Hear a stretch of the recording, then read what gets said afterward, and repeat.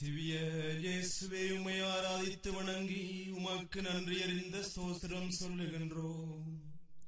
அதை ஏனென்றால் உம்முடைய பரிசுத்த சிலுவையைக் கொண்டு உலகத்தை மீட்டு ரட்சித்தீரே சுவாமி.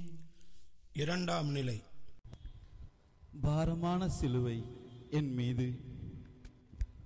அன்பு பிள்ளைகளே பிளாத்துவின் தீர்ப்பினால் அக்கிரமத்திற்கும் அநீதிக்கும் வெற்றி கிடைத்து விட்டது எப்போது என்னை ஒழிப்போம் என்று காத்திருந்த கூட்டம் இதோ கொலைவெறியோடு என்னை இழுத்துச் சென்று கல்துணிலே கட்டி கசையால் அடிக்கின்றது.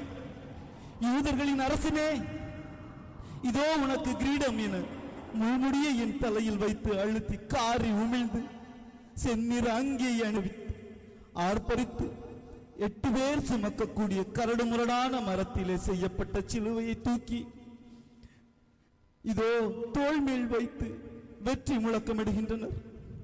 இரத்த மாறாய் பெருக்கு. உடலெல்லாம் ரணமாகி நெருப்பிலிட்ட புழுவோல் உடலும் உள்ளமும் துடியுடிக்க. நான் படும் வேதனை தந்தையே உமக்கு தெரியாதா?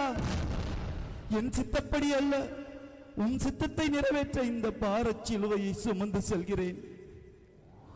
சுமை சுமந்து சோர்ந்திருப்போரே எல்லோரும் என்னிடம் வாருங்கள். என அரவணைத்த எனக்கு.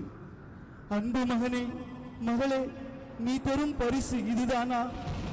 உங்கள் கடுஞ்சொற்களால் எத்தனை உள்ளங்களை துடிக்க வைத்தீர்கள்? அதுதான் என் தலையில் உள்ள முள்முடி. உடலாலும் உள்ளத்தாலும் எத்தனை இழிவான செயல்களை செய்து உங்களை களங்கப்படுத்தி வருகின்றீர்கள்? அதுதான் என் உடலில் உள்ள கசையடிகள்.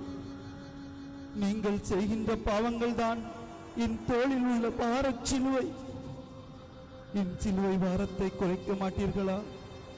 என் உடல் வேதனையை குறைக்க மாட்டீர்களா?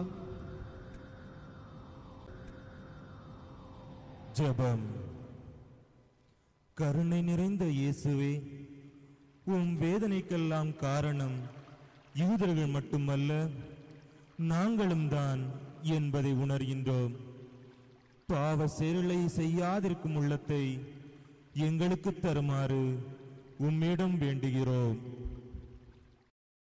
எங்கள் பேரில் தயவாயிரும் சுவாமி எங்கள் பேரில் தயவாயிரும்.